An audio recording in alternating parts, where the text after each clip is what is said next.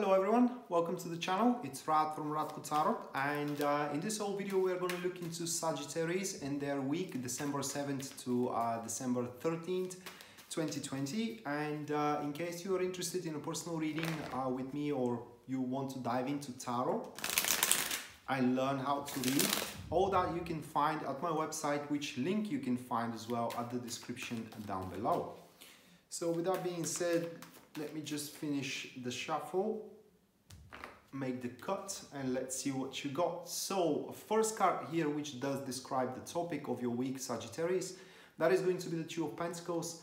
Uh, moving next we do have the energies which are feeding and supporting the topic itself. That is to be the wheel of fortune followed by the third one which stands as the challenges that you are to overcome throughout the week. That is going to be the eight of a swords Afterwards, we do have the gifts and the blessings that you are to enjoy.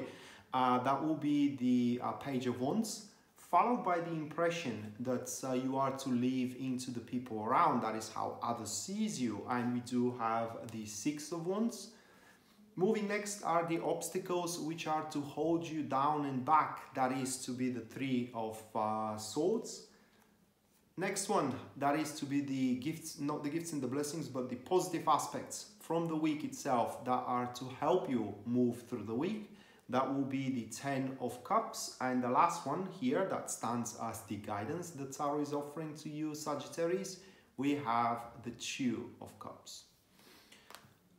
All right, so pretty interesting here. Uh, just give me, give me a second.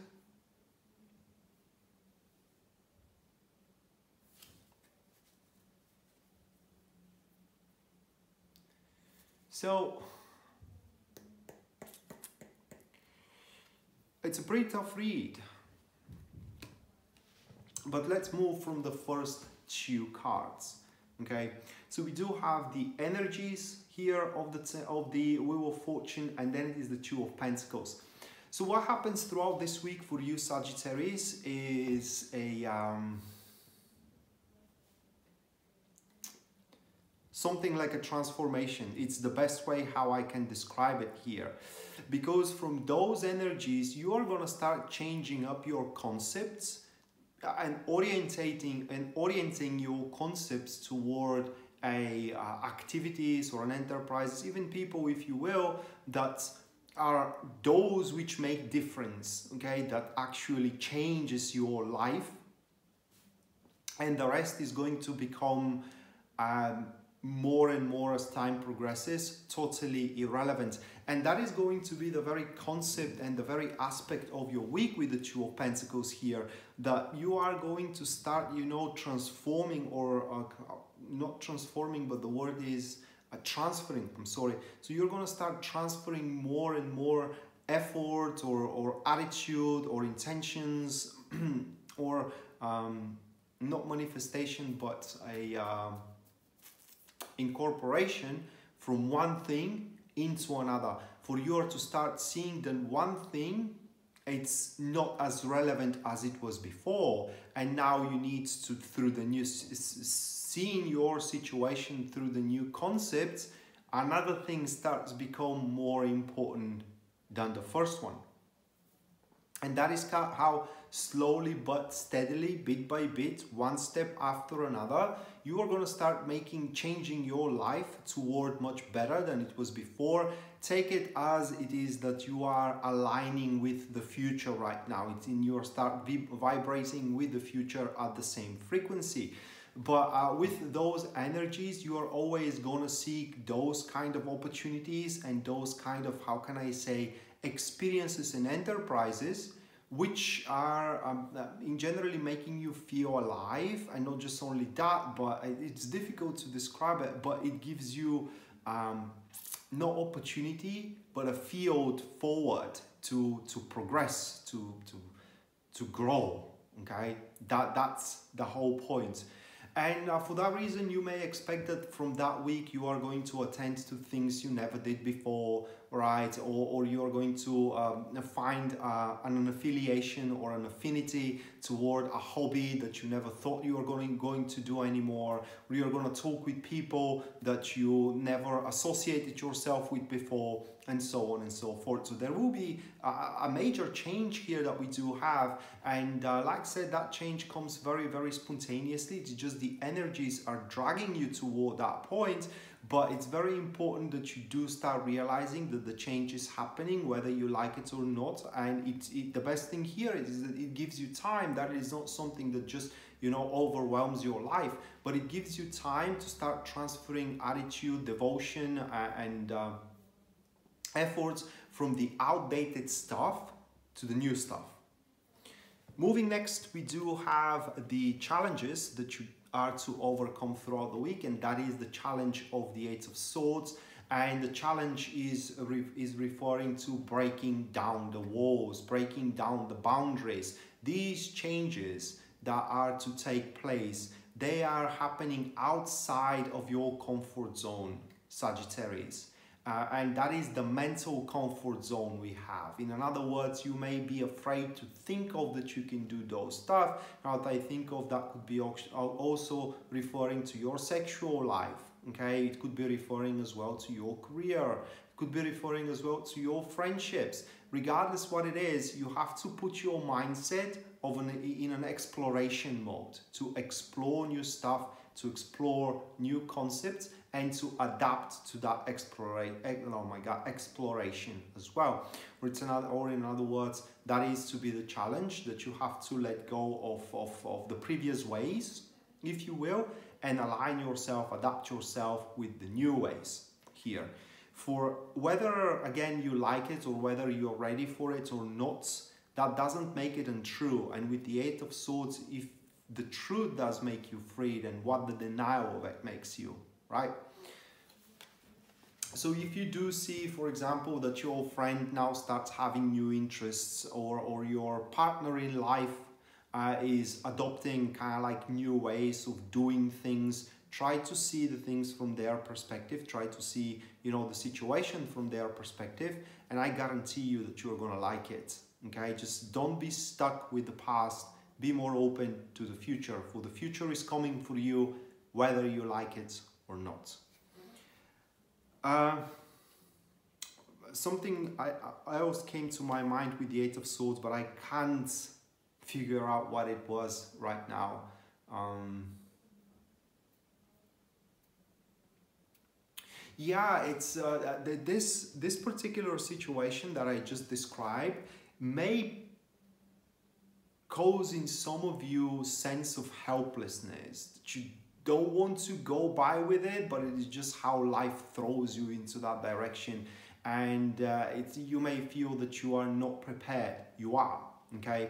For nobody expects you that you have born learned on something and that is why you do have that time of alignment that time of re redistributing your efforts your devotion and your time as well uh, moving next, we do have the gifts and the blessings that you do get to enjoy, and that is the gift and the blessing of the page of, of the page of wands. Uh, usually that would be person, but not in your case here. The gift and the blessing is your own personal strength and your own personal mindset that you can believe, you should believe, and you are going to believe that you can do it you are going to be reminded of your personal strength, how strong you are in reality, and that is going to make you open for everything new that comes about. And again, to you, what it is left to you to do is just to explore it. Another thing that could be a gift and blessing here, it is a very positive and good news that is going to come your way, which is going to open your uh, doorways. It, it's like take it as a green light of you to do something or you to um, initiate a certain enterprise or a certain activity and um, and so on and so forth.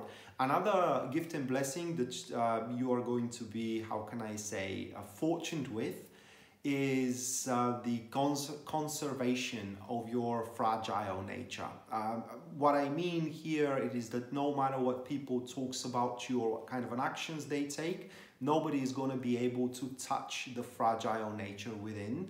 And uh, you are to face everything with a smile.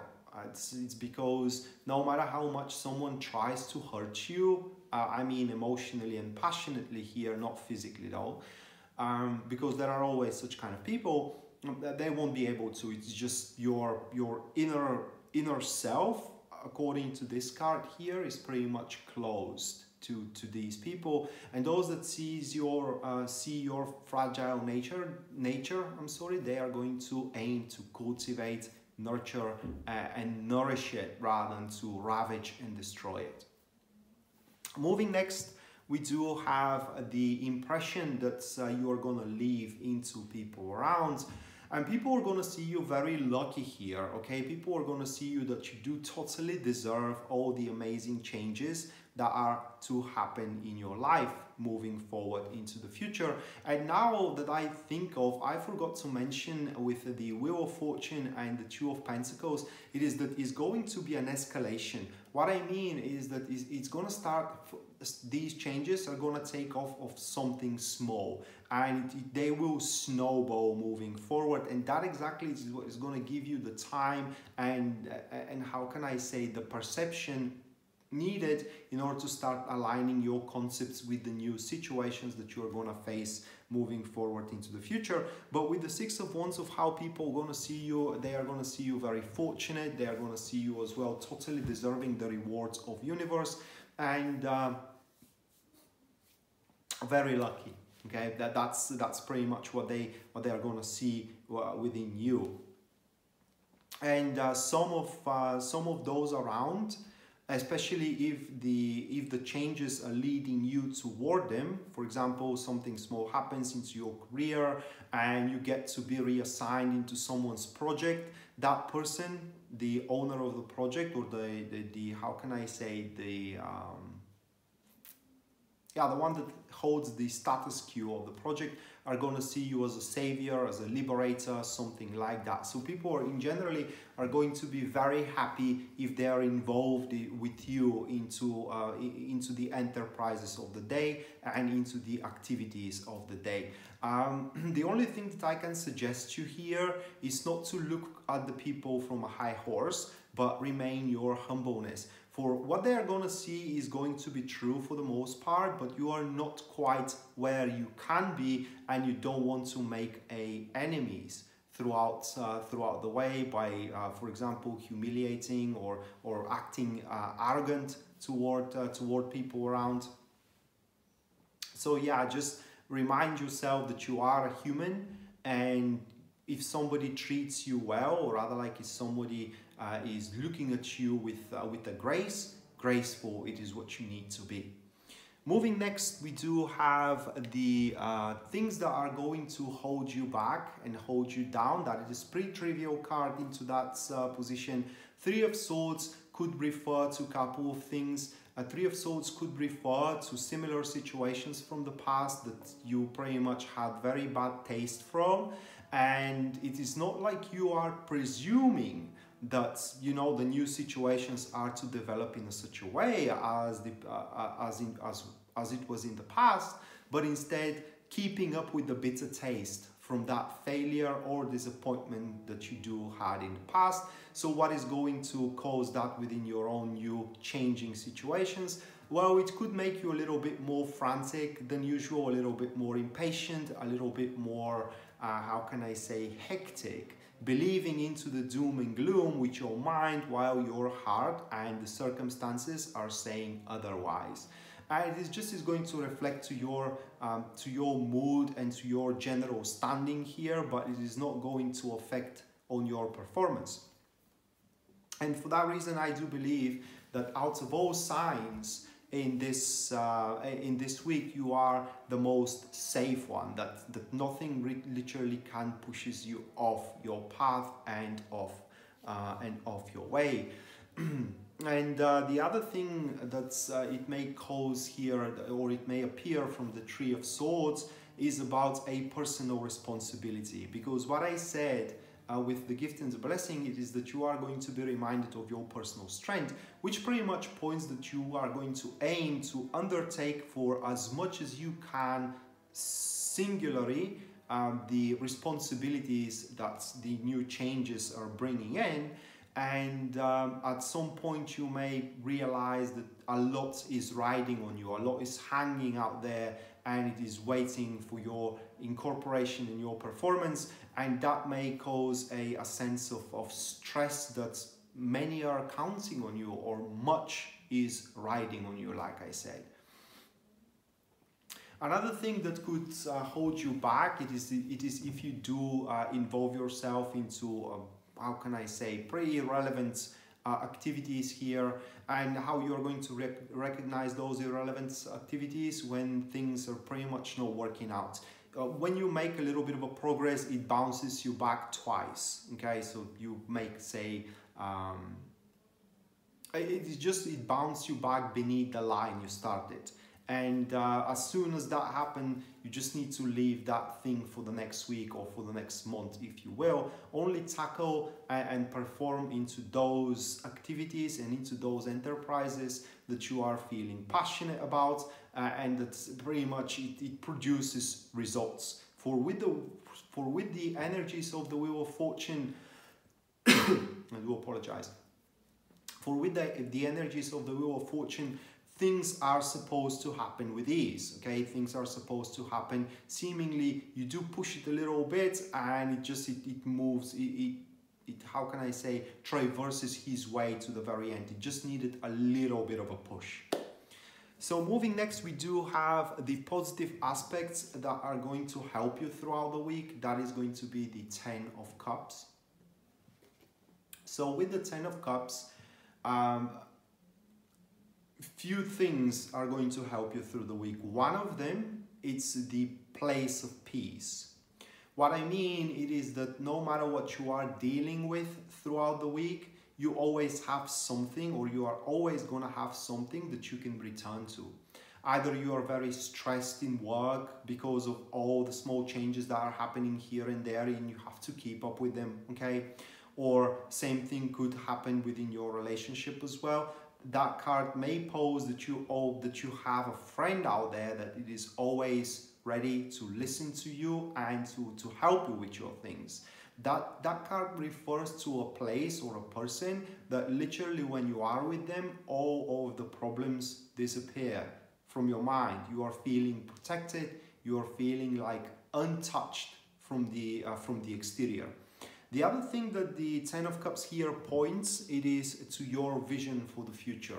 Uh, when you think of where those small changes that the uh, universe is bringing into you here, because the universe is, is bringing it to you, these, these changes are not results of anyone's influence. They, it's just they are happening because this is how the circumstances aligned. But when you think of those uh, those changes the more and more you think of them the more and more you're going to realize that when those changes develop these small changes becomes big changes and these big changes become the lifetime change you are hoping for or you're waiting for. Uh, when that moment comes you are to um, find your life worth living again or worth or more worth living again if it is worth living again right now our life always worth living but its worth is going to increase exponentially once the change wraps itself around and like I said, you're not quite there, okay? That this week is not gonna get you there, but you're gonna reach a pretty substantial and fulfilling milestone getting yourself there. And the last thing that is gonna help you guys uh, moving forward, that is the this aspect of the human nature that I never understood, okay, because I'm not that kind of a person, but I guess that's a virtue rather than affliction. And that is the uh, the side of the human nature that dictates that no matter how much you have, you always can go for more. And you should always strive for more. I guess that's true because we humans and every every being in generally it's uh, it's here to progress, it's here to develop, no matter how developed you are, you can always be more developed than you are right now. So that's this mindset should help you to move through the week with the most beneficial results as possible. And the last card we got for you, Sagittarius, this is going to be the Two of Cups, which is uh, the guidance that Tarot is offering.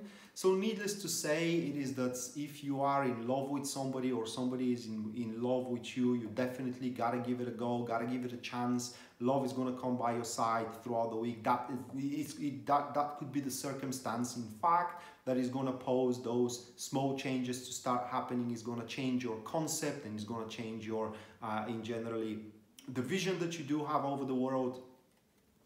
But uh, the other thing, the more practical uh, gift, the more practical guidance that the Two of uh, Cups here poses, it is that you, Sagittarius, need to aim for the best of your abilities to maintain peace in communications and in relationships, regardless are those intimate relationships, business relationships, friendship, family relationships, etc., etc. How you can do so? Well, according to that card, as you can see in it, everybody makes his own pay. Everybody tra traverse their own uh, predetermined, if I may say it that way, distance and path. Okay, you cannot, no matter how much you desire somebody, if they don't put the effort to traverse the distance, half of the distance that separates them from you, there is no point in doing anything. Uh, but you also need to do your part in it. You have to traverse your distance, and in order to do so, uh, you need to put your pride and uh, shyness as well on the shelf. Otherwise, it's just it's not going to work out as beautifully as it is uh, as it is supposed to work out. So that being said, Sagittarius, this was your weekly general tarot reading, guys. Hopefully you do enjoyed it and you do liked it, and uh, we uh, we shall see each other next time. Until then, bye.